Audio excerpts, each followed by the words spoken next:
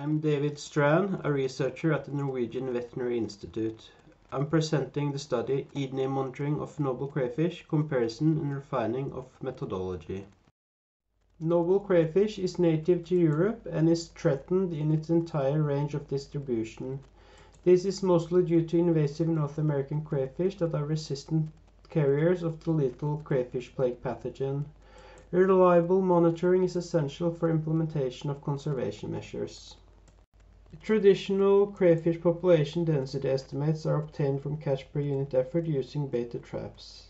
It is essential to compare this traditional monitoring method with eDNA monitoring. This might reveal strengths and weaknesses with both methods.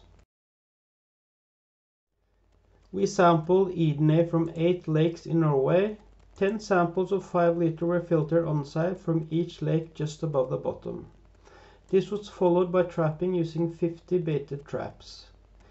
eDNA samples were analyzed with noble crayfish-specific qPCR and ddPCR. We detected noble crayfish eDNA from all lakes, even at very low densities.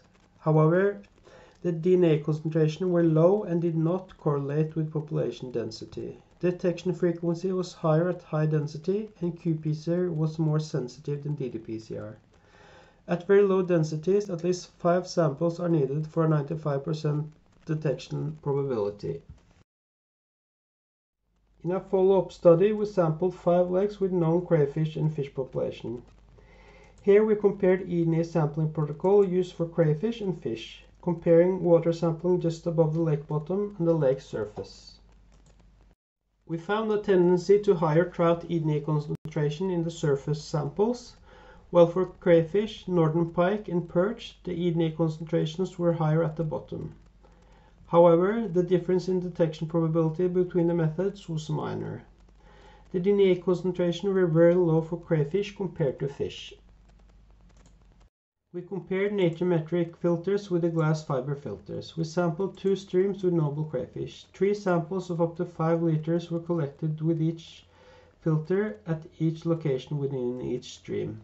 The extracted eDNA was analyzed for the presence of noble crayfish. Both filters worked well and we detected crayfish eDNA in all samples. However, the noble crayfish eDNA concentration were higher in the glass fiber filter samples. The noble crayfish eDNA concentration in the streams were also much higher than we usually observe in lakes. EDNA monitoring works well to study the presence of crayfish, but EDNA quantities does not correlate with population density. Crayfish seem to release far less eDNA to the water compared to fish, and considerable sampling effort and water volumes are needed to obtain reliable results. Optimization of methodology increases the likelihood of detection. Thank you for your time.